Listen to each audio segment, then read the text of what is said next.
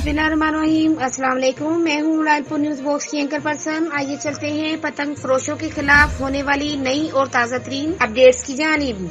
Shadbagh police की कार्रवाई, पतंगबाज गिरफ़्तार। मुलजिम को दौरान चेकिंग कार्रवाई करते हुए गिरफ़्तार किया गया। मुलजिम ने पुलिस को आते देखकर पतंग को हवा में उड़ा दिया।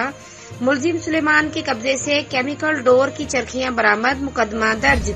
पाबंदी के बावजूद पतंगबाजी करने वालों के खिलाफ क्रैकडाउन जारी रखेंगे एसपी सिटी खलाकुल्ला तारड। मैं हूँ कैमरामैन के साथ कल ज़फ़र। मजीद खबरों के साथ हाजिर होंगे। तब तक के लिए इजाज़त दीजिए। अल्लाह हाफिज। मजीद अपडेट्स के लिए हमारे चैनल को लाइक, सब्सक्राइब और बेल आइकॉन को प्रेस करें।